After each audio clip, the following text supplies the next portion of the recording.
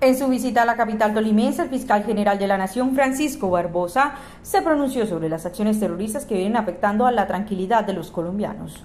Lo ocurrido en Toribío, Cauca, como lo dije hoy públicamente, es un hecho lamentable y hay que seguirle y hay que decirle al país con claridad que el secuestro es el secuestro y no más eufemismos con palabras como retenciones, etcétera, etcétera, que hay que decirle al país que cuando una persona es secuestrada, pues es secuestrada y nosotros la investigamos como primera hipótesis como secuestro.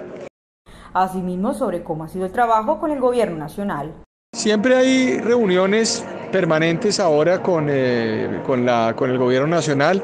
Yo creo que eh, el, el escenario más allá de reuniones y más allá de comités o mesas de discusión sobre estos proyectos es que el asunto ya llega al Congreso, está en el Congreso de la República y será en el Congreso de la República donde se surtan las eh, diferentes posturas.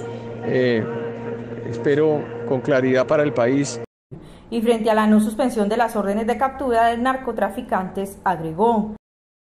Bueno, yo creo que la, eh, hemos sido amigos y somos amigos de la paz, y de la paz total, del proceso de paz con el ELN, con las disidencias. Eh, yo suspendí las órdenes de captura de los miembros del ELN, negociadores de la mesa y de los disidentes, pero no suspendimos las órdenes de captura de narcotraficantes en el país del Clan del Golfo, por una razón, porque no podemos confundir lo que es la justicia transicional y la paz con procesos de sometimiento a la justicia de criminales.